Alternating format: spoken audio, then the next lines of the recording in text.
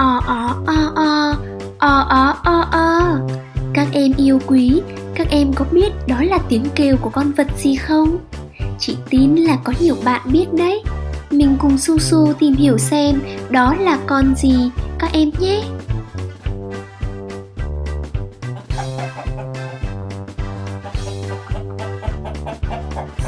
Gà gáy.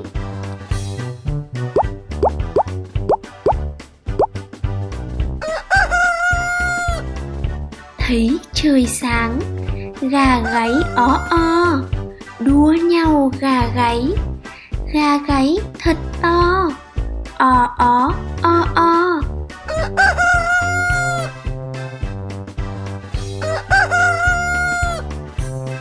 có bạn nào tìm ra được đáp án chưa? À đó chính là con gà trống đấy các em ạ. À.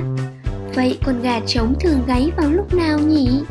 Chúng mình cùng su su đọc bài thơ một lượt nữa nhé.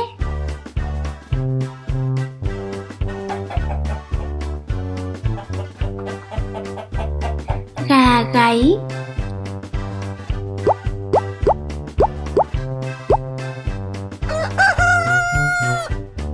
Thấy trời sáng, gà gáy ó o đua nhau gà gáy.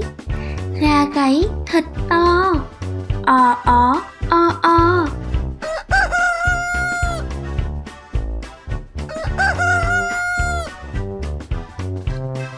Trống thường gáy vào buổi sáng sớm để gọi các bạn nhỏ dậy đánh răng, rửa mặt, đi học đúng giờ đấy.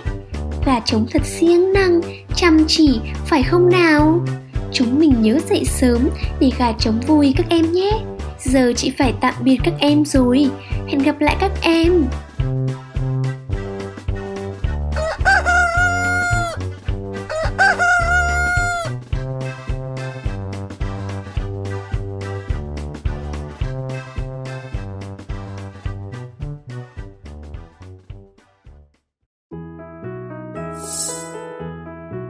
Nhấn nút subscribe để cập nhật các video mới nhất từ Bookit bạn nhé.